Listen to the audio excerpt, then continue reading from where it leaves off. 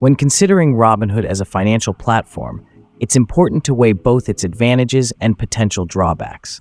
Generally, Robinhood is regarded as a safe option for most users, but there are several factors worth considering to make an informed decision.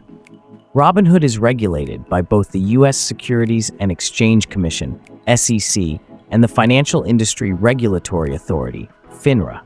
This regulation provides a layer of oversight and protection for investors, ensuring that the platform operates within specific legal frameworks.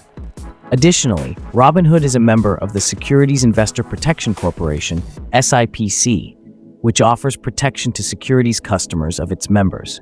This means that in the unlikely event that Robinhood fails, your account is protected up to $500,000, including up to $250,000 for cash claims. This insurance is a critical factor in safeguarding your investments. Security is another key consideration. Robinhood employs industry standard security practices to protect user accounts. These include encryption, which secures your personal information, and the use of Secure Sockets Layer SSL technology to ensure that transactions are conducted securely. Furthermore, Robinhood offers two-factor authentication, 2FA, as an additional layer of security, helping to prevent unauthorized access to your account. However, while Robinhood provides these security measures, it's also the user's responsibility to safeguard their account by using strong, unique passwords and enabling 2FA.